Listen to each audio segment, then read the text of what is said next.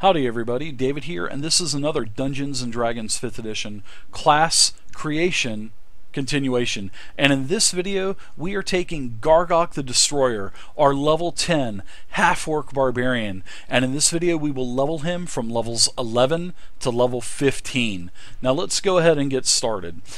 Now, the first thing I do is, as I'm leveling my character every level, I like to level him systematically like I've done in the prior videos. So we will go ahead and start at the top, go to a level 11 Barbarian. The level 11 XP value is 85,000. Then we need to raise Gargok's hit points. Gargok has 105, and like I've done in the other videos, I'm taking the static 7 that you can take for the Barbarian. Now, your Dungeon Master, he or she, can give you the choice of rolling or taking the flat 7. Myself, I like to take the flat 7 because I'm too scared to roll a 1d12. Because of my luck, I'll have a level 20 barbarian with about 50 hit points. So uh, I've decided to go ahead and take the flat 7. So the barbarian gets the 7 plus your constitution modifier. My con modifier, as you can see, is a plus 3.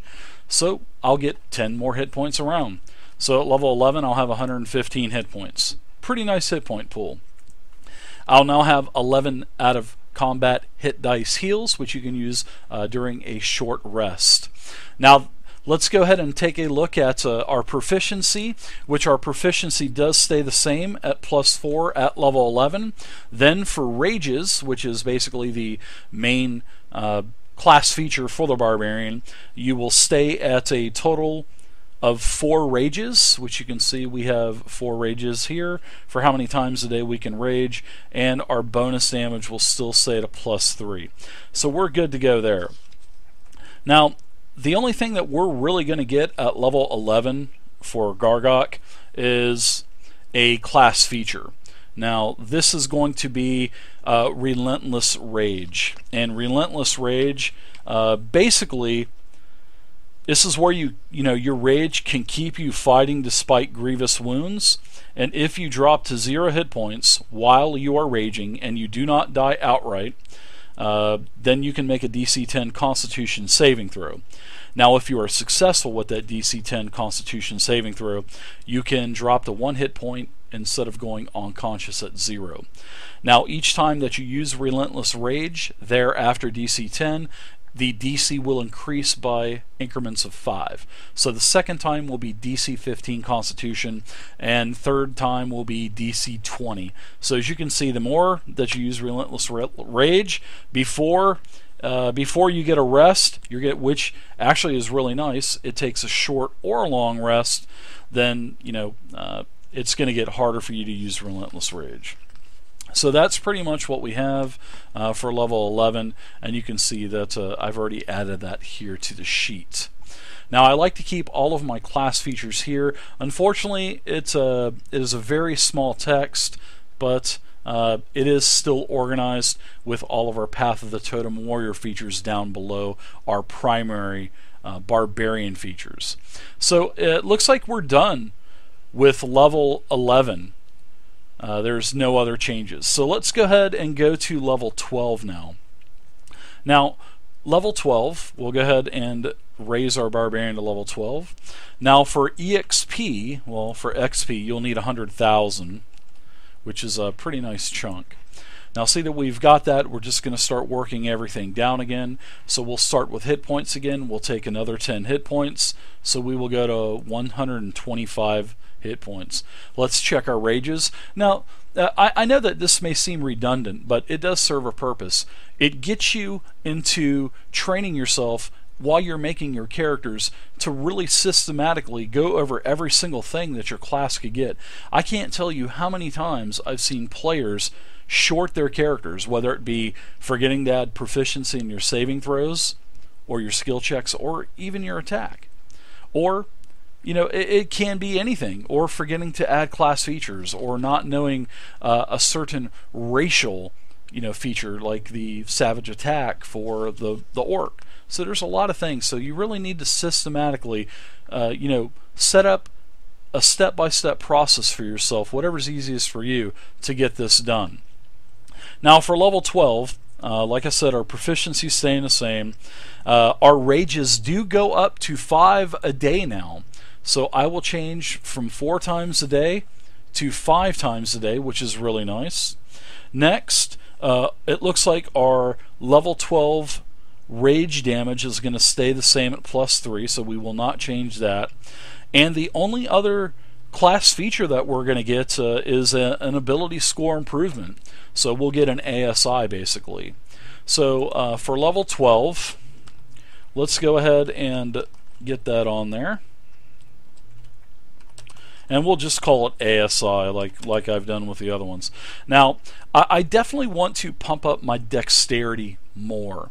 Now, we're going to take the dex from 16 to 18, which in turn is going to give us another ability modifier increase. So our dex is going to go to 18. That's going to do a couple things for us. First off, we're going to go ahead and systematically do this to where starting at the top, it's going to affect, definitely going to affect our initiative. So we're going to plus four. Next, don't forget your level one unarmored defense is a base of 10 plus your dex plus your con. So now that we have a 16, we're going to actually 17 for armor class. So for wearing no armor, having a 17 armor class is pretty nice. So it, like I said, it's 10 plus your dex modifier plus your constitution modifier, and we will eventually take our dexterity to a 20 to get an 18. Uh, we may even take our constitution 18, uh, but that will be later down the line. Now, see that we've got, seeing that we've got our initiative done, our unarmored bonus done. Uh, let's go ahead and look at and raise our saving throw to plus. Uh, let's we're going to plus four now for our dexterity saving throw. Uh, then after that, we are going to raise up all of our different ability uh, ability skill checks. They'll all be at plus four, but they could go higher depending if we are proficient in it. But I do not believe that we have any dexterity-based skills that we're proficient in. So. Uh, that probably will not be the case here, which it is not. So we've got all three of our dexterity checks raised up to plus four. And let's see.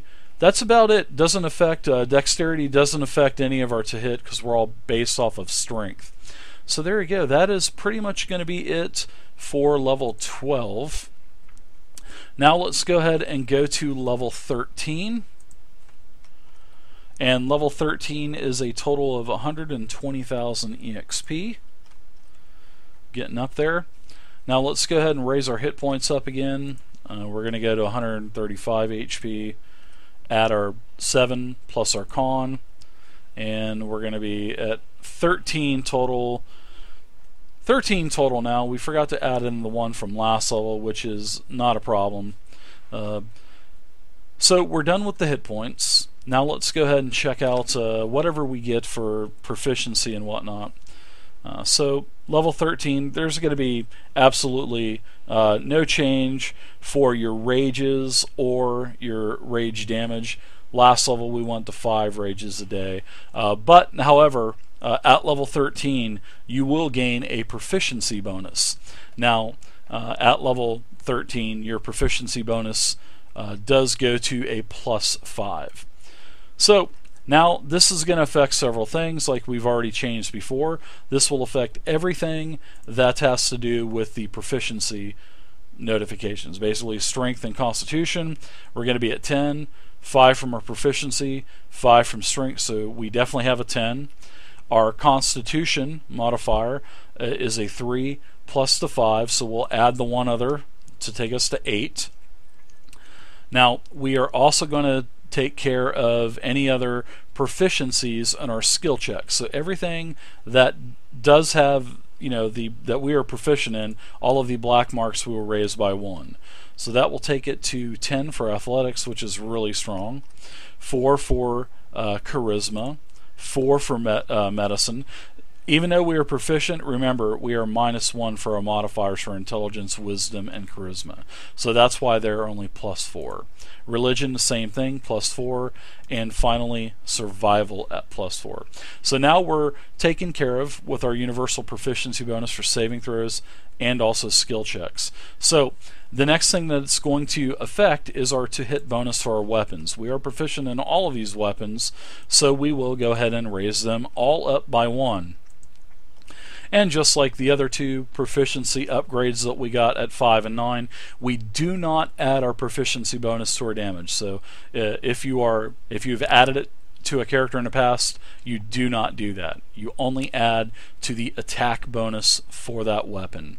Now, seeing that we don't have any spells, we don't have to worry about our, our spellcast modifier for attack and DC, so we're good to go there. Uh, so let's go ahead and look at uh, level 13. We will get an upgrade to Brutal Critical. So, at level 13,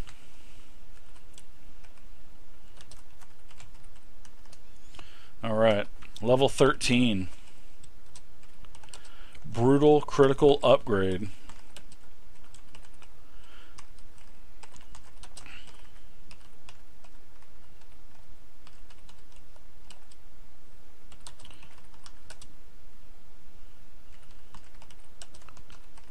Okay, now what Brutal Critical does is it adds the extra die onto your roll. Well, level 13, uh, it does give you two additional rolls. So, you know, basically it works like this. When we crit with a Great Axe, it's 1d12 plus the bonus for critting is 2d12. Now, don't forget, we have savage attacks for our orc racial that adds another weapon die on top of that. So with the base crit and racial is 3d12. Now, brutal critical gets even more vicious. We get to add an additional 2d12. So when we're critting now, we're literally critting for 5d12 plus our plus our 6 and if we're raging it even goes to plus 9. So brutal critical is really vicious and it's even going to get higher later on down the line at level 17 so we'll have a total of 60 12 man that is so crazy so that's pretty much everything at level 13 for good old Gargok the Destroyer. Now we're going to go ahead and go to level 14 now, which XP for level 14 is 140k now. Same thing with the hit points. We're going to raise it 10 more. 7 plus our con, which is 3, which is going to take it to uh, 145.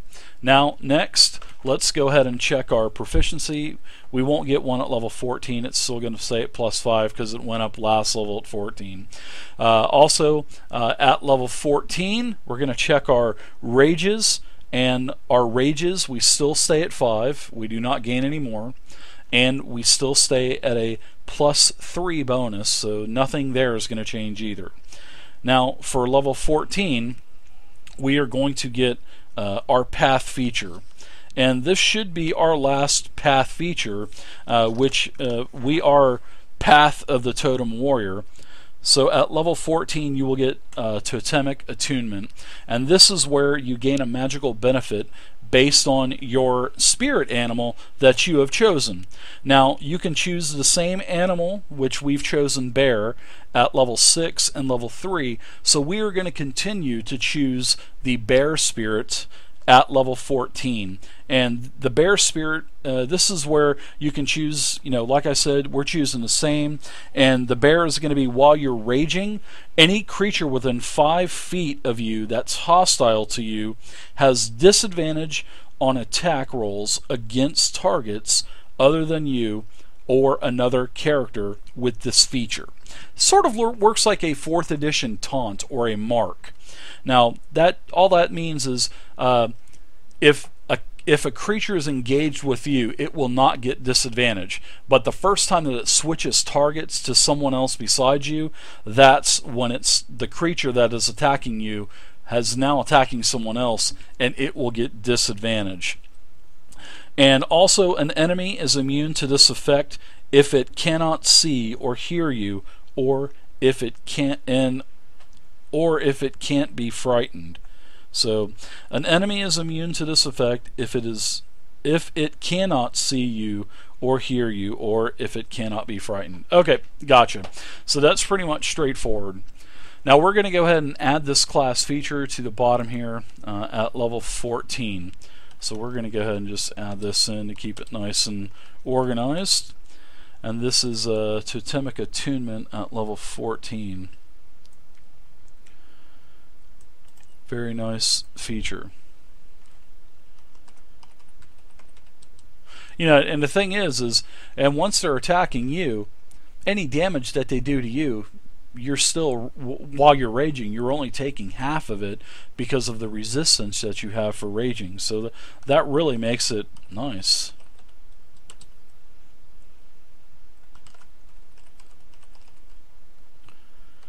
Alright so there it is. While raging any creature that's hostile within 5 feet of you has disadvantage while attacking any creature other than you. There it is. Alright so that's pretty much going to be it for level 14. Let's go ahead and look at level 15, which will be the final level for this part of the tutorial. And let's go ahead and raise uh, old Gargok up. Man, he's getting up there in levels, isn't he? Level 15, uh, as you can see, level 15 experience is 165,000 EXP now.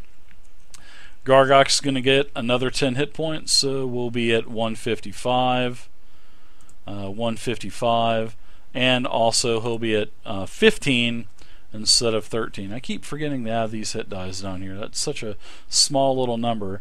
But uh, now Gargok is up to 15 uh, out of combat heals, and which is nice when you get a short rest. You can do that. All right, so now that we've got our hit points, we've got uh, we haven't forgotten about our, our hit dice there. Uh, at level 15, your proficiency is still going to stay the same, so that's not going to change. Your rages are going to stay the same at 5, and your damage bonus is definitely going to stay the same at plus 3.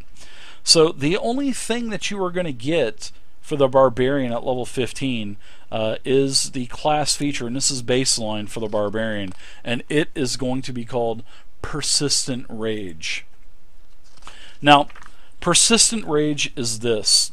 This is where your rage is so fierce that it ends early only if you fall unconscious or if you choose to end it. Just like it says, your rage is so fierce that it ends early only if you choose to end it or you fall unconscious. So the timer for rage out the window now. You can only end it, you know, and you know, it, there's a little bit of gray area there because sometimes a, DM will say, "Oh, you're not raging anymore now that combat is over." But technically, by the rules, persistent rage, uh, you can end rage only if you fall unconscious or uh, if you choose to end it. So there could be a little bit of debate there for some gray because it really wasn't uh, fully expand, uh, really fully explained. Okay, so let's go ahead and add this uh, to our list of class features, and you can see every level, man, the Barbarian gets something really good. So level 15, Persistent Rage. Really nice, uh, really nice feature, actually. I mean, it just keeps stacking on on top of everything else that uh, you're getting.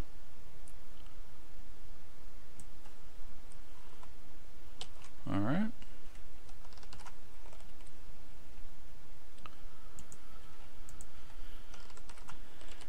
Alright, so your rage only ends if you fall unconscious or if you choose to end it. There you go. Level 15. That looks like we are done. So it's actually, Gargok is, is almost complete. We'll have one more video after this. And I hope you guys enjoyed this. Gargok is uh, getting pretty strong as you can see. So if you guys have any uh, comments, please feel free to leave them down below. Thank you guys so much for watching. Also subscribe to the YouTube channel.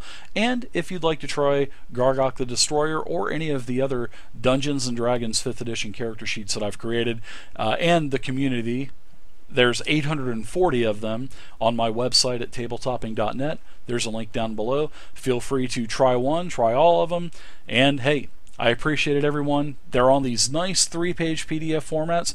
You can put them on your iPhone, your tablet, you can print them out, you can do whatever you want. So, thank you guys again, and I'll see you next time.